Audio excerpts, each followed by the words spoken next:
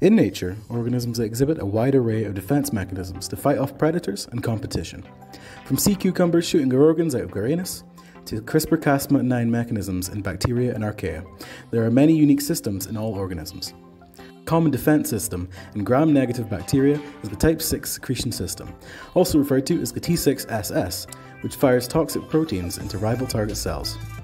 T6SS nanomachine is assembled from a number of subcomplexes created, created from a total of 14 different core components. These complexes consist of a cytoplasmic breastplate, cytoplasmic contractile sheath, membrane structure, and expelled puncturing structure. T6SS action begins with the creation of a transmembrane structure that crosses both inner and outer bacterial membranes. The foundational base plate then binds to the cytoplasmic surface of this structure. Subsequent synthesis begins on the puncturing system made up of a HCP contractile tube with a VGRG and PAAR point. During synthesis, a contractile sheath surrounds the HCP tube.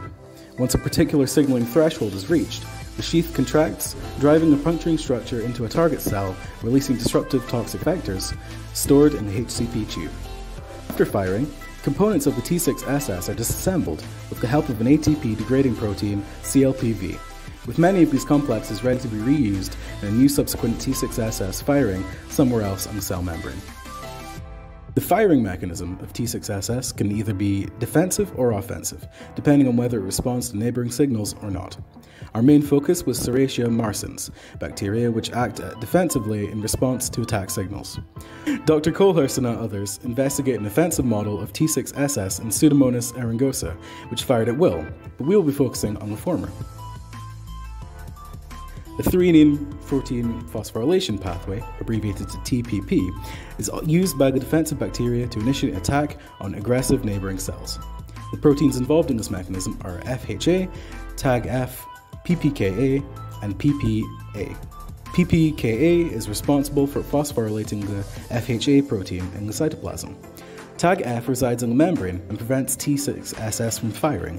You can think of Tag F as the safety lock for T6SS, like you would have on a gun. If enough FHA is phosphorylated due to extracellular signals, Tag F oppression can be overcome, which allows the T6SS to activate and start firing attacking cells. After each firing event, T6SS is reorientated by disassembling the whole structure and reassembling it at a different location or orientation. This gives the cell higher efficiency of attack against other cells. Dr. Colhurst concluded that the FHA was the most crucial part of this all, as it was absolutely necessary for the T6SS firing function, and therefore absolutely necessary for the TPP pathway. She also made an interesting statement about the future prospects of her investigations. But also the, the molecular details about you know, how you disrupt bacterial physiology with a toxic vector, or how bacteria assemble these systems. That's fundamental biology either in biotech, make it do what we want it to do, or in mm-hmm. Medicine, stop the harmful bacteria in its tracks. So I think because type, type 6 systems are really widespread, they're found in a lot of gram-negative bacteria, probably about 30 gram-negative bacteria, and a lot of the important pathogens have them. So that's telling us it's quite an important thing you know, to work on because it's so common.